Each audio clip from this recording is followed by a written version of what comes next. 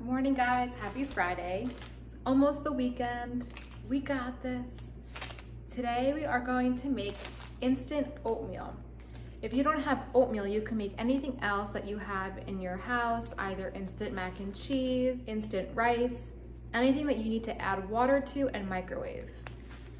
I'll show you how it works with this and then you guys can practice. The directions of what you're making will always be on the package. First, empty the contents of the packet into a microwave safe bowl. Tear here.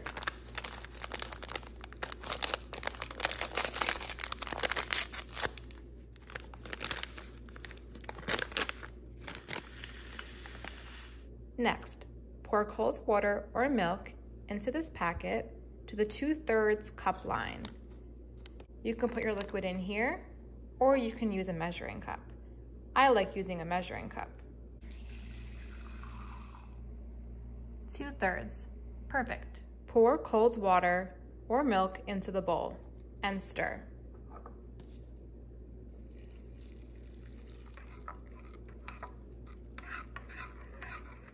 Microwave the bowl on high for one to two minutes.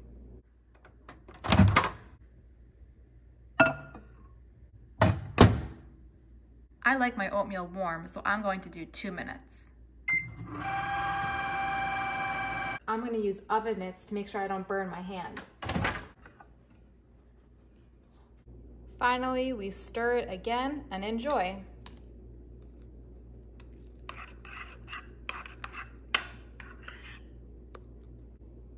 Okay, now I'm gonna go enjoy this for breakfast. You guys can go look in your closet, see if you have instant oatmeal, and if not, any other instant microwavable meal will do. Have fun and enjoy. Have a great weekend.